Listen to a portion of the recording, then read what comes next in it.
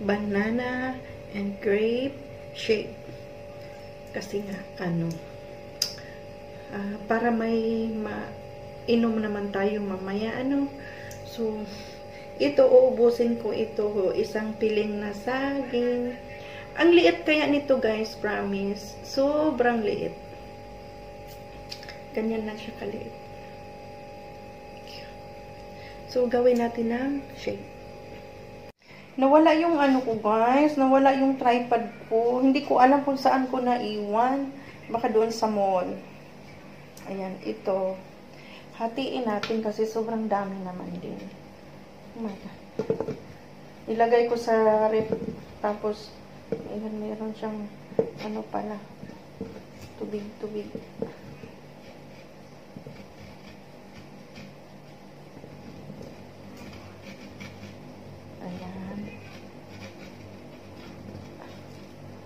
Yan.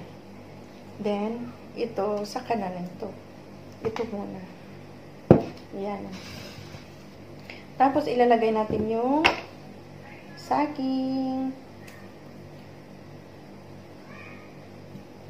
Yan. Itong maliliit na saging, guys, sobrang tamis. Grabe. Tamis niya, oh. Ang cute. So cute. Ayan. Mmm.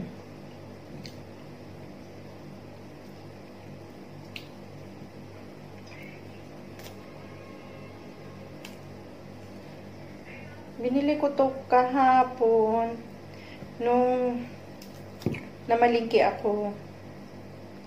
Tapos, yun nga, sabi nila, pag mga ganitong saging daw, ay sobrang tamis. So, totoo naman, na sobrang tamis pala.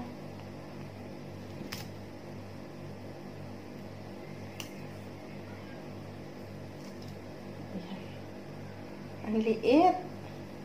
Grabe. Hmm?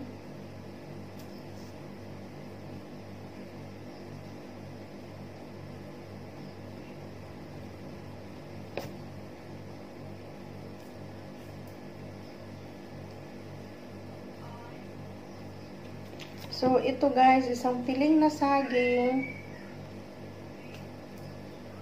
At saka, grapes.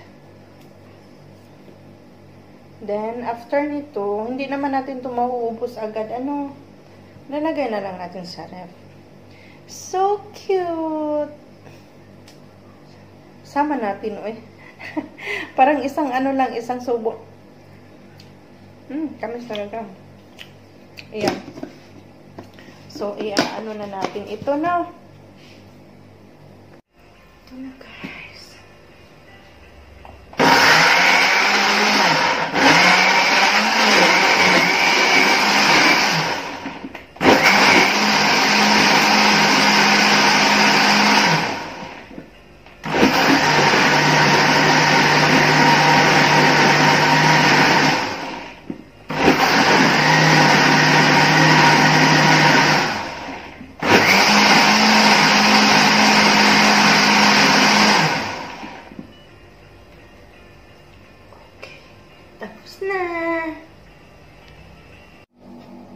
Ito na po siya guys. Sobrang sarap talaga, promise.